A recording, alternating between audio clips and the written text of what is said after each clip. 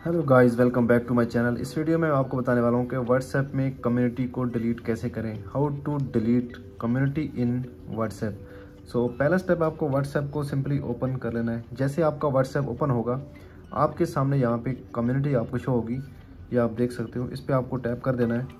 और इस तरह से एक पेज आपके सामने आएगा। आपको सिंपली यहाँ पर तीन डॉट्स पर टैप करना है और यहाँ पर कम्युनिटी इन्फो पे चले जाना है। जैसे आप यहाँ पे आओगे, आपके सामने बहुत सारे ऑप्शन आएँगे। आपको स्क्रॉल डाउन करना है। यहाँ पे एक ऑप्शन आपको दिख रहा है डीएक्टिवेट कम्युनिटी तो इसी स्टेप पे आपको क्लिक करना है और यहाँ से डीएक्टिवेट कर देना है। दोबारा से डीएक्टिवेट पे क्लिक करना है। तो आपकी कम्युनिटी जो है वो डिलीट हो चुकी है, ठीक है?